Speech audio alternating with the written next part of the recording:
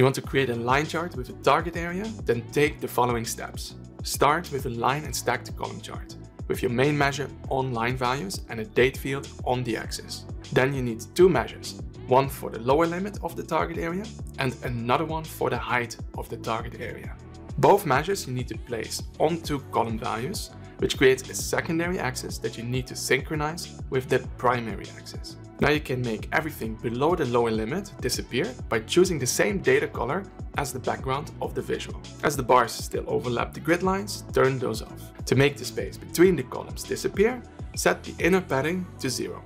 As a finishing touch, you can highlight the data points outside of the target area by creating a measure that only returns the values of the outliers. Then place it onto line values and for the highlight outliers measure, set the stroke width to zero so that the connecting lines disappear.